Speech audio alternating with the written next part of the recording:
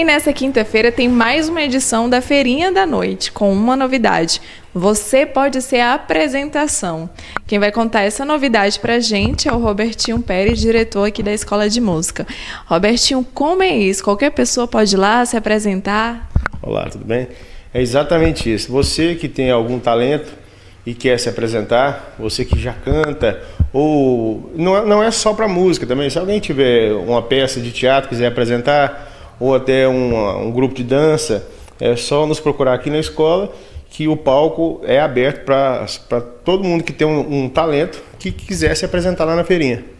Até o presente momento, né? Inclusive na semana passada nós conversamos, né? Tem uma matéria aí, quem não assistiu, vai lá no YouTube da TV Jataí. É, teve a dupla. Até o presente momento, vocês estão indo atrás dessas atrações. É, exatamente. É nós que estamos correndo atrás das pessoas, né? Convidando os artistas da nossa terra para se apresentarem lá. E até agora só show, show bom. E inclusive tivemos uma apresentação aí de dois dias da nossa orquestra de violeiro, que foi o maior sucesso. Já estão querendo bis, então acho que eu vou fechar aí pelo menos uma vez por mês com aqueles velhinhos lá que tocam muito. Olha, a feirinha da noite, né, que contei com uma opção gastronômica bem diversificada, tem feirinha de artesanato e claro que a animação da noite é muita música boa. Por isso, né, o pessoal que gosta, né, mas como você falou, também tem outras habilidades artísticas, pode estar lá animando aí todo mundo. Exatamente. Será um prazer para nós daqui da administração, da atual administração, ter vocês artistas se apresentando aqui no palco da nossa feirinha.